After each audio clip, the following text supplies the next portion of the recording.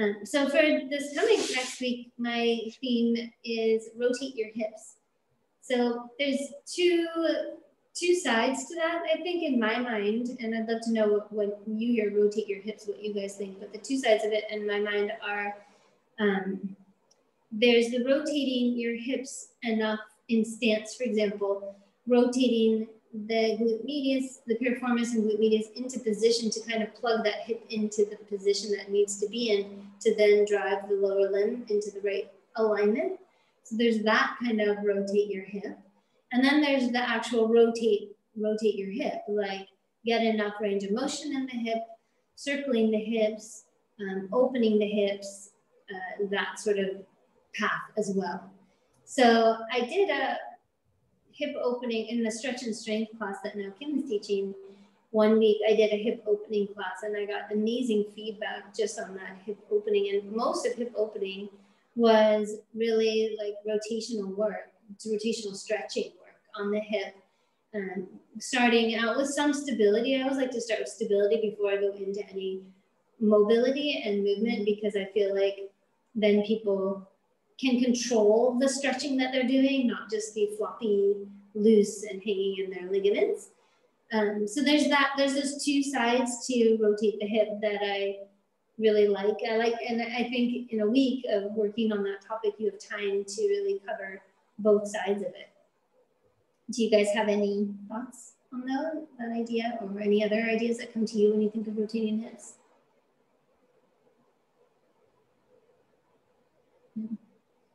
Okay.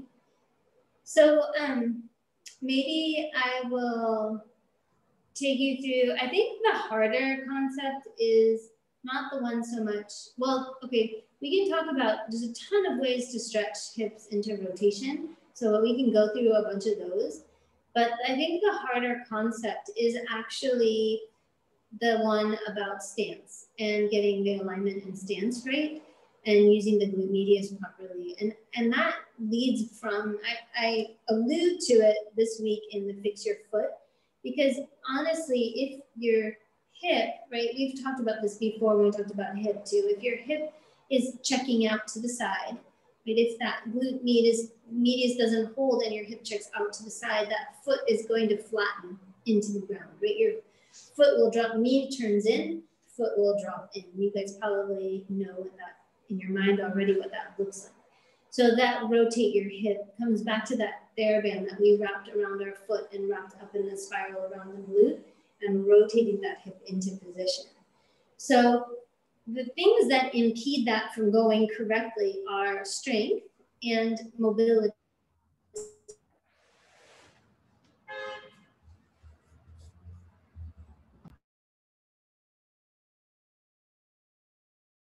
Did Zeina freeze?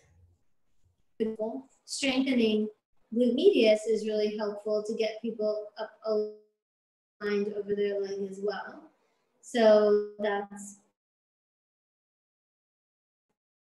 an important piece of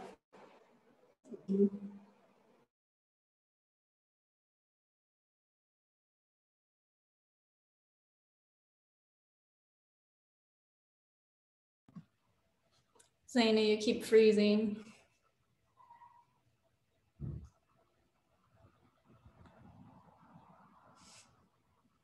Oh no.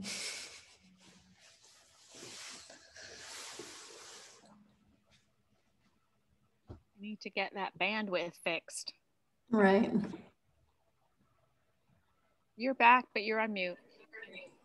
Sorry I saw myself freeze. I saw you all freeze, and then I was like, that must be me again. all right. So um, I think I froze saying that sometimes the glute the medius is important. Having enough mobility is important, and that will help ultimately get the whole lower limb in alignment. So that was basically what I was saying. So um, you could argue starting with activating glute medius to get that hip going, or you could start arguably start with stretching the hip to get that going because if you don't have enough flexibility, you won't get on the leg. If you don't have enough strength, you won't get on the leg. So there we go, both sides. Uh, so on mat work, I don't know if you guys have a preference. Does one sound more challenging than the other? What are your, as far as your knowledge base goes, how do you guys feel about that? Hip and rotation and I'd be curious about. We've got the echo again. Um. I- I'd be curious about finding the mobility for yes. Is that still like figure four stretching, or is there some other sort of mobility that you? Yeah. So I've played a lot with the glute medius stretching um, because some people get a good stretch in a figure four and some people don't. And so there are so many, and I've actually seen you, Genevieve, doing other stretches too um, there that get that whole hip rotator. So let's go over those all first. Um, the, the one that I don't love so much is the pigeon stretch, full pigeon stretch, because that is so uneven on the SI joint. And no matter how good you get at doing that, it still is really hard to keep even. So I think it's appropriate for people who don't have SI joint issues, who are working towards the right alignment, but I don't think it's appropriate for everybody for sure, and definitely not somebody who's unstable in the SI joint. So here's, uh, let me push this back a bit and I'll show you just a few um, different variations.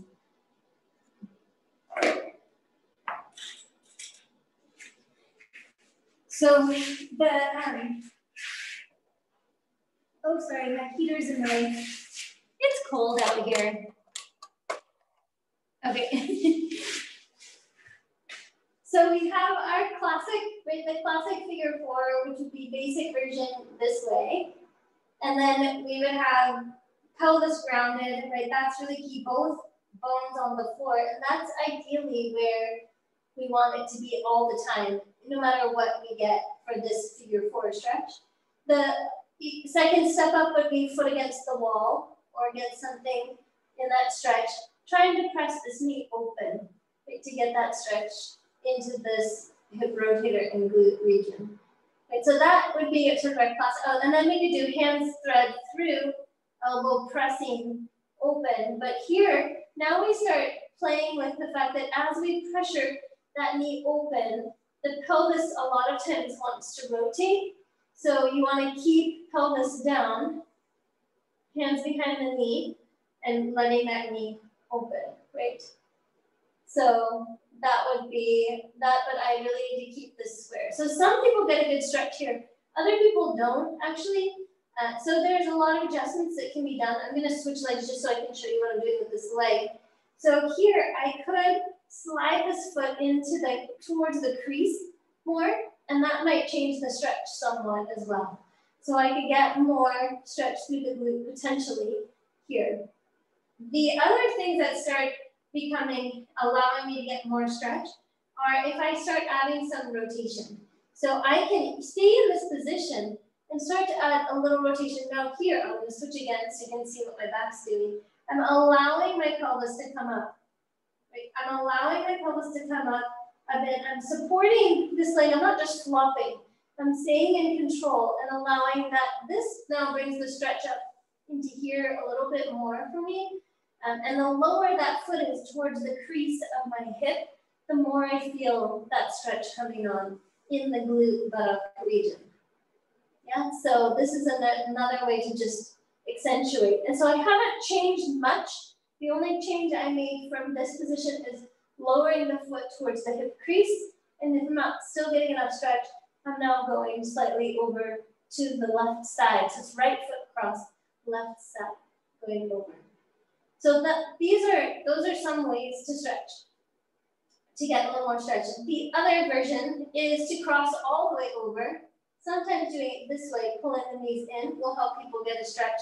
Then if you rotate towards the side, away from the side of the closer cross leg, so now it's my left leg crossed over, and I'm rotating over to the right, for example. Now I can get a little bit of a different stretch. I'll switch so you can see. In my buttock here, I'm feeling a little bit different kind of stretch as I go into that rotation. So now I'm allowing my back to leave the floor here. So those are all good ways to get the stretch. The other one, and actually one of my personal favorites, is, um, and I'll show you the variation on it, is if you work up your way into hamstring stretch. So hamstring stretch also right, is opening the, the hip region because of where the hamstrings insert, right? Remember into that ischial tuberosity.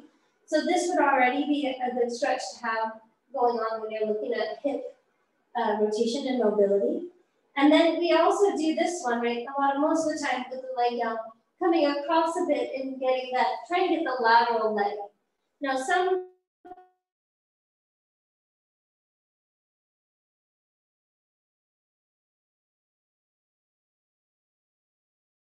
all the way and down actually creates more stretch for me. You could do this with a band, you could do it with your hand on your foot and then rotate that. Now you can see the problems that this could have that this could have for somebody with a low back injury or um, somebody with rotational contraindication for some reason. This is not going to be ideal, but this really helps open through the TFL region and the glute region both. So this, this for me is where I have to go sometimes to get a really big stretch through. So um, if I went this way, to show you that right leg would be up and then going across. So you can see I'm really, um, I'm really rotated and then I would work to sit this butt hip back down the other way. And I could rotate and open the trunk. So this is not it for everybody, but this actually feels like it opens, sometimes can even help open QL if that's type two. So if for the right candidate, that's a good stretch too. Then the one that I was saying I have seen Genevieve also do is crossing legs over and then bringing the legs up, pulling the feet um, kind of wide apart. So my knees are crossed over each other and then I'm pulling here. Now I'm getting a really good stretch in my top legs buttock region here. And if you were to sit the tail back down, which I wasn't doing initially, but now, then you actually get a little bit more stretch with that too. So this could be a really good one. Right, so top front leg goes over, that's the leg that's gonna get more stretch, pulling the feet open to try and get them at 90 degrees and then towards the floor. And then there's our happy baby, which we steal this and this is from yoga, right? Coming into this. So here, I'm trying to get my knee, a half one would show you. Um, I'm trying to get my knee towards my shoulder, taking that foot down, but also trying to fight the urge to curl too much. So it's opening the leg more and sitting the bottom down that we want. We, I use this a lot on my Cadillac, sprung from below. So that really can help get those hips unlocked and the SI joint unlocked. So it's kind of a nice one for that. So those are the ones that I play around with with clients uh, on their backs. The one, since I don't like the pigeon, the one I actually do like is the double pigeon. And so I, or even um, sitting, uh, so seated, bringing the knees feet together, knees open. So a lot of people, this is really challenging.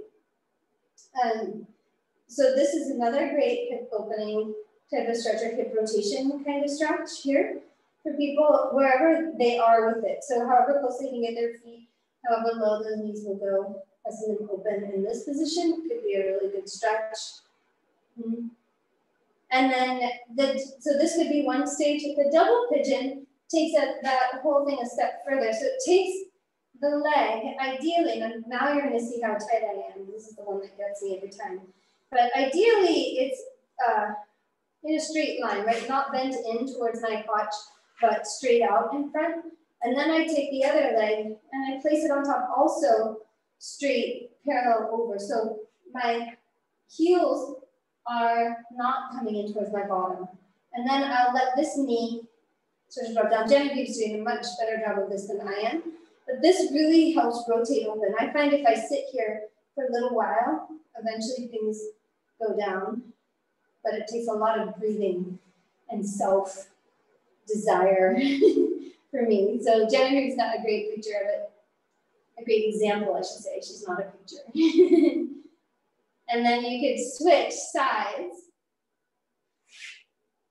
crossing there, and then watching that one come down as well.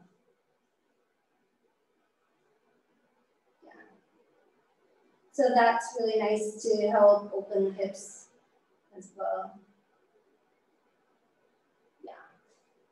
So eventually, one day, my knee, some days my knees will go down after a while, but today not so much because I'm having a tighter day. Um, so those are all the kind of my favorites uh, as far as stretching goes. Then we have what we were talking about last time was all the leg circles, hip circles. We talked about that when we talked about hip a couple weeks ago. Those hip circles really lubricating the joints, being really helpful um, for that. So that we talked about on the reformer, you use the foot straps on the springboard, you use the foot straps, and what do we do when we're on the mat? And that could be single leg circles with a TheraBand or single leg circles with your hips on the roller.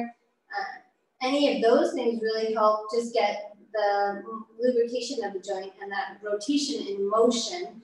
Not so much about the stretching as it is about lubrication and, and definitely could be about increasing mobility. So if you give somebody enough support, they can create more motion and more mobility at the hip, right? So the straps give that support for the weight of the legs, allowing more.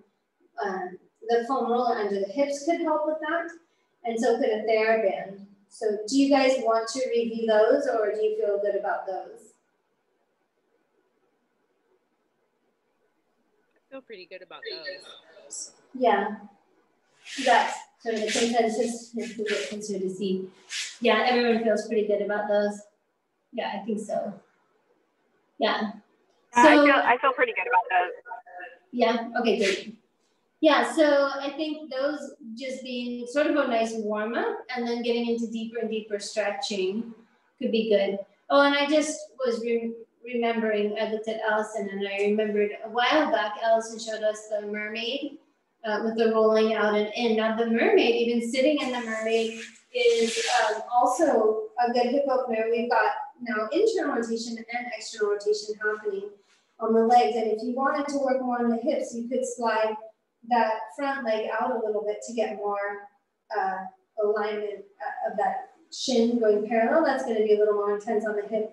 And then this one you could work on. You just need to make sure that the knee isn't playing a part, uh, being irritated by this position of this hip. So, but this does get some motion or some internal rotation at the hip, which we haven't done anywhere else. So this could be in doing a mermaid or a stretching series here, it could be a very um, discreet way or secret way of getting the hips a little more open and internal rotation. So that could be a nice one to just do some remaining, some overhead stretching, and then getting the hip um, to sort of open up as you go through mm-hmm. too. So, um, so yeah, I think those are a great handful of nice stretches you could do. When we get up to talking about the foot and knee, right, that's the stacking over. And so Kim, I might use you as an example because yesterday we were doing the rehab course um, and Kim was such a lovely volunteer to be my example person. And I was picking on her doing scooters. So I think you guys know enough. I don't think I have to show you again the stacking the hip over the pelvis, but just really super brief, just to put it in your head, right?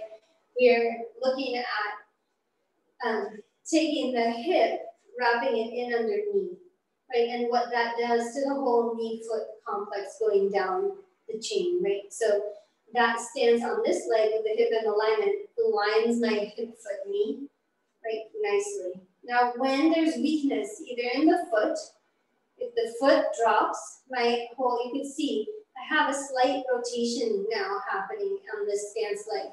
And my kneecap, which maybe you can't see, I will expose, Okay, so this is, I, I was just here in this nice upright, straight, aligned place, and all I'm doing now is dropping my foot. I drop my foot and I get a little bit, it's subtle, but I get a little bit of an internal rotation, and I feel that I'm coming across a little bit. So if I keep my foot up, but I drop my hip, that's what it looks like. So I just went from foot now lifted, body aligned, to hip check side. So my knee actually stayed forward, even a little bit outward. I'm a little more on the edge of the outside edge of the foot, but now my hip is still not in underneath me. So when we talk about standing rotation of that hip, we're talking about bringing it up and under. And the hard part of this, even when people get this here standing, is if there's any weakness, when they go to bend the knee, this happens. Right, so now my foot flattened and the knee went slightly inward. So this was, and the hip outward. So this was happening a tiny exaggerating, a tiny bit to Kim's right leg yesterday in class. And so what, I couldn't get my hands on her because she's over there and I'm over here. So what I would have wanted to do is take this hip, rotate it in its socket. So pick up and put that hip forward, even if it meant coming back up to standing, and then just release the knee out from underneath. Right, this is that exercise, the side sleeper hip hike exercise with the knee bent pulses. Do you guys know which one I mean? We go out in side sleeper, right? In side sleeper, we start that series. Um, this foot on the foot bar presses, right? Marching presses, and then we do turned out presses, and then we put our heel flat or our foot flat against the bar, and we do the hip hike. So that essentially what's happening is this this one is lengthening into the bar. And then I have sometimes, not every time, I have people hold that and try and bend their knee without losing the placement of that hip. So there's little knee, bent knee pulses inward. So what that looks like if we took that to standing is being able to stay stacked on this hip and then release my knee. So nothing changed in the alignment of this leg, right? I just released the knee. So that is the hard part. So when you go to a single-legged exercise, like what we were doing yesterday, the rehab course was, was scooter on the reformer. So that, and the stance leg, I, which was better for you this way maybe, or maybe straightforward. The stance leg was Kim's right leg. So she was standing here, this foot was on the reformer we came into this position, what kept happening a little bit was this. So, and then she was pushing back, right? So I kept, we were working on getting that arch up, the knee rotated over, and the hip rotated under her so that she could press here in that nice correct alignment. So that's rotating the hip into position or locking it into that position here um, to get underneath her. Does that make sense? Do you guys have questions about that in particular?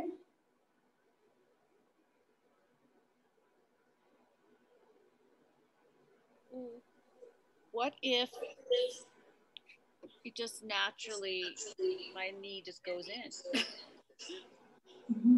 Yeah, so some people are a little genu valgus, right? Yeah. But I don't I don't think you were particularly. I could actually see your hip rotating slightly forward on the right. So I don't I couldn't see your foot though. That was the thing I couldn't really see. So what we did to create a correction from a distance for Kim was I actually had her turn her foot out a little bit. So that as her foot was turning out, I was hoping that her knee would follow, and then if her knee followed, I was hoping that her hip would follow. And so she would end up in a straighter position. So you can mimic that in a lunge, for example. If we, I, um, do you guys have any other questions about that? Or should I just go with this? I just have a cue that I use sometimes. I don't know if it's helpful for people. Yes, tell us. um, so whether it's an alien position or um, I guess it works better first. I tell people to aim the sit bone back toward the other foot. Like points it back that way, and sometimes that helps kind of wrap the glute into place. Yeah, I, I like that. Yeah. Anyone else have another way? I I don't have any. Um, oh, I'm getting the echo now too. I don't have a particular cue, but I do have that same genu valgus with the leg, and um, I'm always that it's of hard to see here with any of my clients as well. Every time I put them in parallel, um, if they're going to be bending, tend to see a little bit of it sometimes if they're really focused on keeping over their toes. I will turn the just a little bit, even though they're supposed to be in position. Hey, Zeina, why don't you go on mute? Why don't you go on mute while everybody's talking? Other people are talking. Okay. Yeah, sure. Sure. So what did you say, Allison? Okay, so um, all I was saying was that um, I have that the genu valgus that, that she was talking about. And um, so anytime I'm doing any work, um, and if I have a client that has the same issue, any work where you're supposed to be in parallel, especially standing on the floor, I'll always have them take their feet out just slightly because otherwise when when they're straight when your feet are straight and you have this angle then your knees automatically want to come together part of that can be a little bit of um, a weakness in the hips but it's or in the inner thighs but a lot of times it's just that's just the angle and mine's not as pronounced as some of the others so if you take them into a slightly more turned out so if this is parallel you take them just an inch to either side, it will correct that until they get stronger. Do you agree?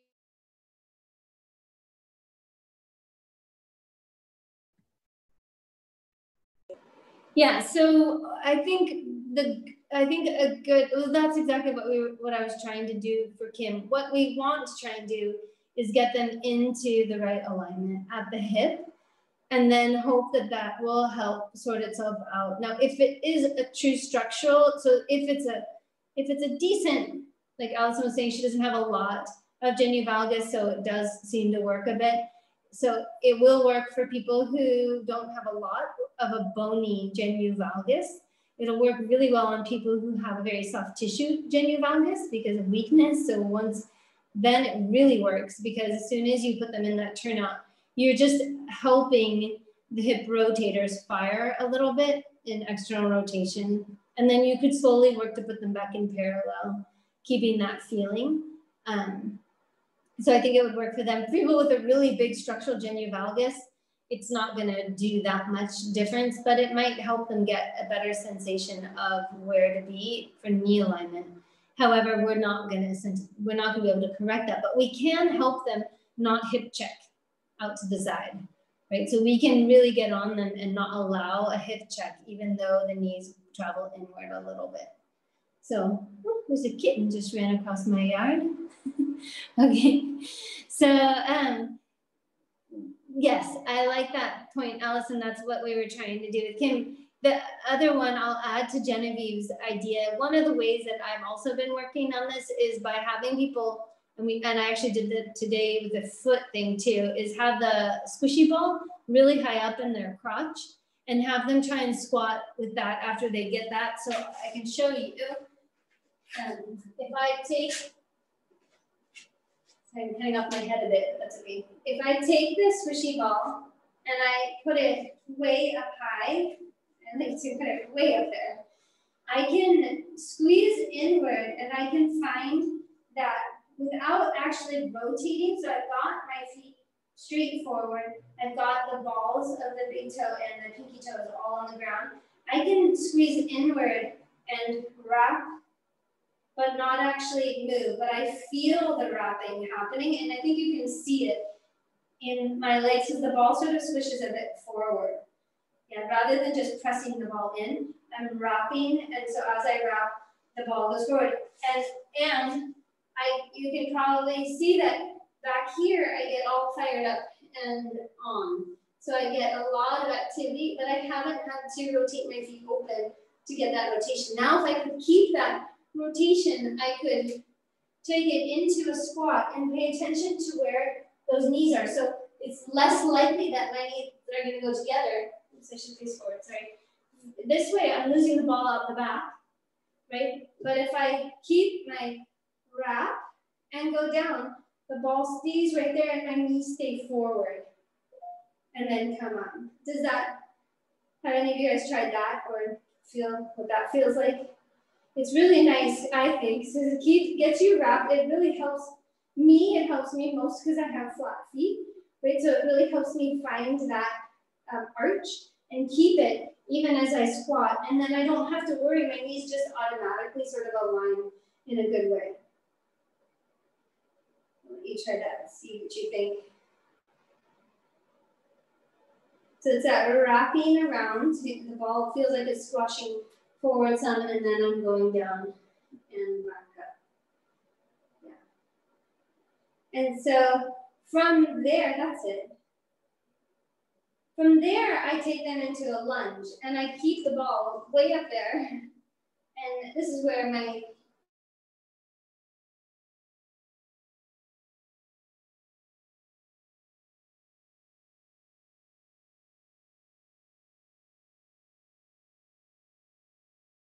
is to help me keep the hips both forwards.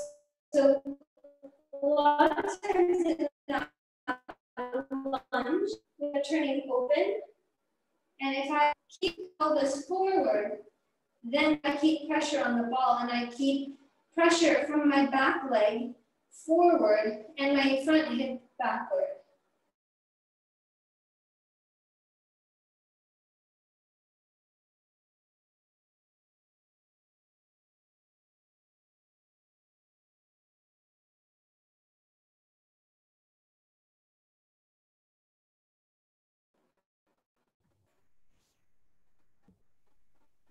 She's gone again. Dana, come back. Yes, okay. Oh, I don't know why this is happening today. I'm so sorry. Can you guys hear Okay, just the state of the world today. What's that? Oh, I said it's okay. It's just the state of the world today. this is my, and it keeps kicking me off the internet that I'm on onto some other internet. I don't know why. Okay. I was just about to have you lunging too. Hmm, Must not like my lunging so much. Okay. So let's try that again. I'll try explaining. All right, so here that's forward. Oh, is it again? I turn sideways. All right, so forward both hips. Then I can keep that alignment and I can allow this down. So now it's really nice and easy. When this hip is pulling inward and straight, I have a really easy time keeping that knee aligned over the foot and that hip in the right rotation line. So I'm really focused on this foot, digging this heel and pulling this hip back and under me. And then up. And that ball uh, can help. Yeah, big pillow could help too if you don't have a ball. But that can help so that I don't end up doing this because then if I go down, my knee crosses my foot. Right, as soon as I open that hip too much. So it's a lot more knowledge, I think, at work to go straight down, keeping that knee straight over and keeping that hip underneath. So you can experiment with that ball being there. If you guys want to try it, I'll watch you if you wanted to do it. Um, I can watch you and see.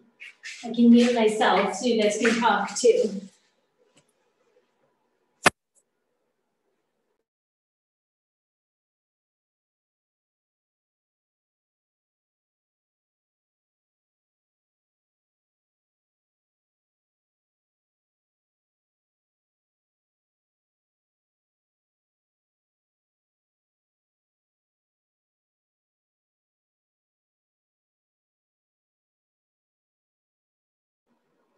I'm unmuting myself. Sorry. Allison, I was to say, see if you can take that back, front leg forward a little bit more and the back leg back. You, you may not be able to hold on to the ball because you have thin legs.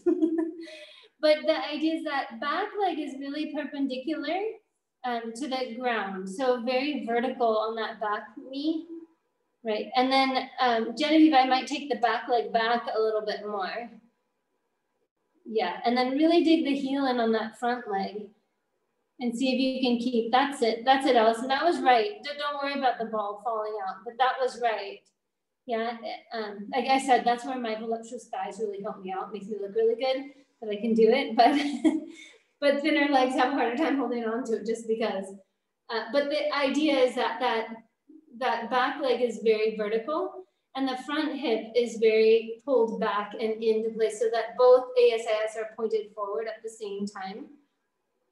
And it really seems to keep that alignment good. Yeah, go ahead. I'll mute myself so you can talk. So would it work with a band? Um, like if, cause unless I get like a much bigger or much squishier ball, there's no way I'm going to be able to hold the ball there. But would a band work against it or i mean i don't i'm just trying to think of a, another way to do that with some of my clients that where their hips what about a yoga block? Ooh. okay i'll try that. Let me grab a yoga block but i it, would a band is the band like not going to work there because it's working different muscles or? Where would you put the band um, like up here. I could try it. I'll go, I'll mute myself. I'll go get this. Other people can ask questions.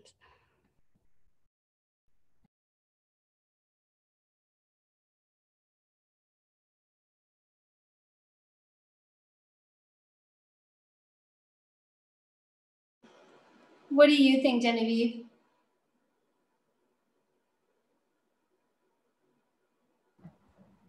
It's um it's a very different feeling because instead of in and together, it's out. But it could probably help to stabilize. I don't know. Sorry, I'm watching what Allison's doing now. I'm wondering if you wanted to use a band, if we would change the the thought a little bit. And, and I've used this with the springboard bar too, where you would take the band and have it hooked behind you or the bar across your hips in the front. So unfortunately, I don't have a springboard to show you, but I can show you the positioning. So the band would essentially go across the front of the hips here or the springboard bar. And then you could work into that lunge, keeping the bar is kind of nice actually, but you could, if the band was behind me, I could work to try and keep that band level and that resistance on both hips. And then going down and up. So that might be an interesting way to keep the hips forward because the idea is to keep, or the thought is to keep the ASIS forward. But I do have to say, I do like the inward pressure and the wrap because that the ball gives as a starting place, and then maybe going to having something across the front of the hips that would keep make you push the hips forward. Yeah, having a like, okay. So having just done it, I can say you're definitely using more outer thigh than inner thigh with the band um, which makes sense. It did keep me a little more square than nothing, than not using anything, but um, but in terms of getting that wrap feeling and using more the inner thighs to lift um, all the way from the um, arch up, it's not going to do that. So answered my own question.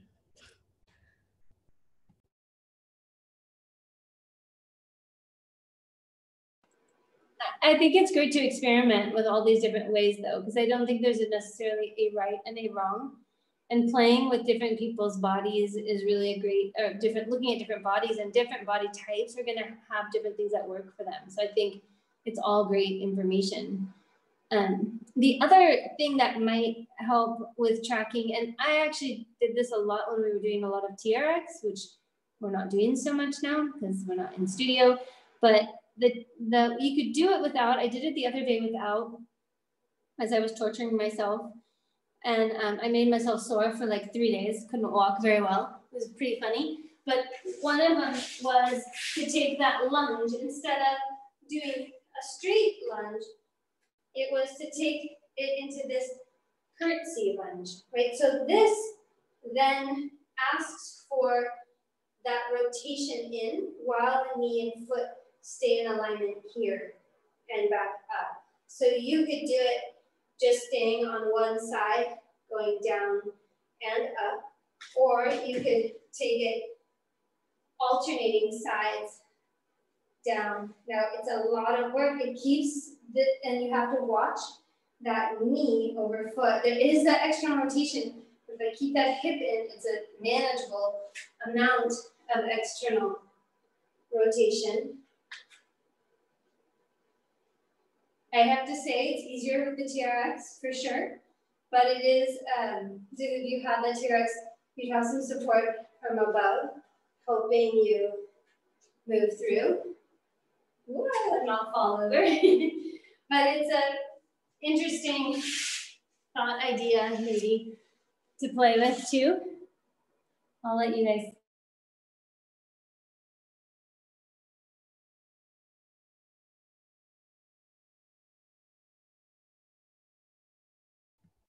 So oh, is the uh, the front leg, the alignment, is the toe pointed, sorry, you can't see. Um, is it pointed forward or is it pointed, is it in turnout?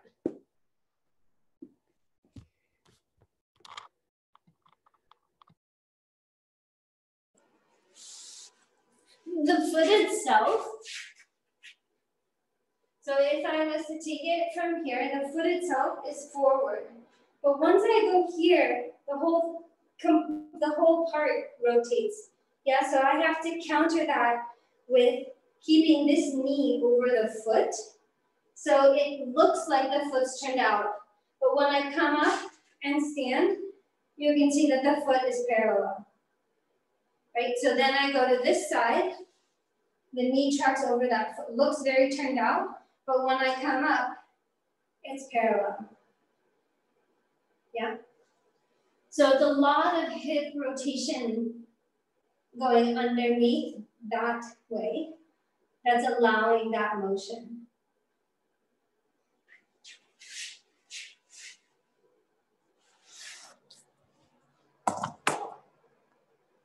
Fun one, isn't it, that one? I challenge you to do 10 minutes of that in a row and see how you feel tomorrow. my foot my foot decided it wanted to turn out. It just did. My front foot. It just turned out. Yeah. It's hard to keep in parallel. I think it is hard to keep it in parallel, actually. It takes a lot of work and a lot of control. So the first few times I was working on it, it my foot would just want to slide open into turnout. But I think trying to keep it in parallel is a good practice and that keeping it in parallel while the hips tucking under is where you're getting a lot of work in that glute medius. So it's really similar to that chair, the chair exercise where we cross over in front, where you're standing and the other leg is pressing down, but across the leg, that's the very similar feeling. Yeah, so Genevieve, you be careful. but yeah, so the, that's the idea though, is that the foot stays parallel and then the hip tucks underneath. Um, I can already feel just from those few that I got, uh, I got a little good zap of work right in the, oh, you can see, right in my glute medius right there, just from those. So really fire them up, turn them on. Yeah. Um, I also, I'll just throw it out there and then I'll give you guys a minute to ask a few more questions. But Genevieve was stretching out her SI joint earlier. and she was in a really deep squat down toward the floor. This the little like full squat down, and the yeah there she is again. So that position I find is a really great position to work on as well for the hip and rotation. And then I always take a while to warm up into it, but the feet turning more and more parallel as you get more comfortable in the position can really help open and rotate and strengthen in this low range. And so this is just a great place to be. And if this is too intense, doing this up on the Cadillac with the bar is a great way. Also, you could have people start it with something underneath their heels. That makes it quite a lot easier if there's a block or something underneath the heels here. It makes it a lot easier to start with, but then working their way down so that they're able to hold it here and then working up from here. It seems impossible at first, but then going, but then after you've done it a few times, it's really not that hard to go up and down through that full range. So that one, I love training people for that one um, for the hips, especially because in Marin, we have so many people hiking in the woods on really long all day hikes. And so squatting in the woods is all part of that, right? And so being able to, I've had some of my clients, I'll never forget, that we had a good laugh one time because when I was like, I've got to be able to squat in the woods.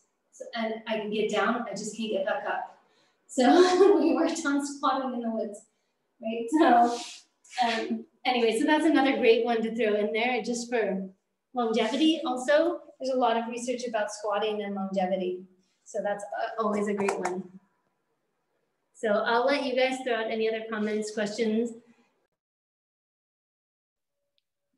I've been doing a lot of squatting, wide squatting in the bone strengthening class as a way to help them um, understand that's a way to get down to pick something up, right? Rather than bending over. So um, it's a it's a journey for me too. Hard. So question again, uh, the wide squat, I was just doing that. And um, anytime I'm doing those, I always find that I'm in uh, pretty wide turnout. Um, bringing it back more to parallel was a little painful, like right around the knees. So I, is that a product of weakness or a product of um, me probably not probably shouldn't do that because of the angle of the Q angle of the hip. Um, and should I do that with other clients? My gut instinct is, well, my gut instinct says I want to fix it as much as I can. So I want to push the boundary as much as I could, but I definitely don't want to push that into pain at the knees. Um, there is, you know, it'd be nice to work into deep squatting and just see how, if you haven't been deep squatting like that, and then you start going right into deep squatting, it's a lot of compression at the knee anyway. So I'd probably just start doing some in a comfortable position, comfortable alignment, and then really slowly start working the feet in a little bit. But the knees and the feet have to be able to both go in. So if the knees can't go in at all, then you wouldn't take the feet in at all, right? So you just want to really maintain that foot and knee alignment as you work your way a little bit more parallel. Yeah, so that, that would be my best recommendation. I just had a question about the um, the deep the squat and uh, well the one that's like uh, what they call it malasana in yoga. I mean I can't do I used to be able to do that, but because of my adductor tear attachment, I there's no way I can do that. Um, what would be a different modification for that? I mean, maybe on one leg I could do it. I guess I could do one leg happy baby pose, but just suggestions.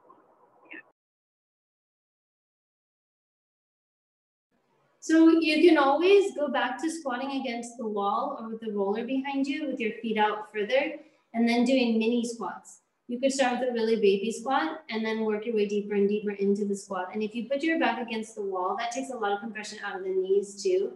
And um, takes will take a lot of muscle work out of the inner thigh initially. So you could just slowly progress your way back in.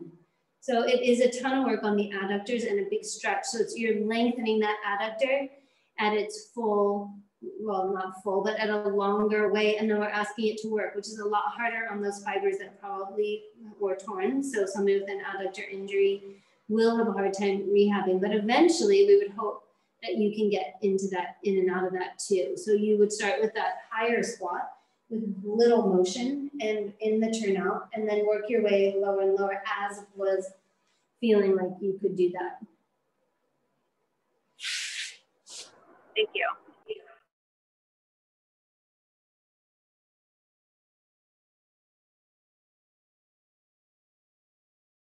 Kim is running away. Um, thanks, you guys. If you have other questions, you can always email me like like usual, and I would be happy to help. Or any client scenarios or questions, I'm more than happy to help.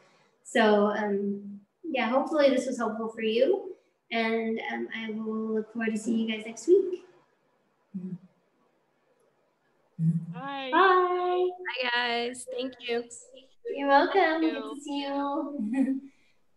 Bye.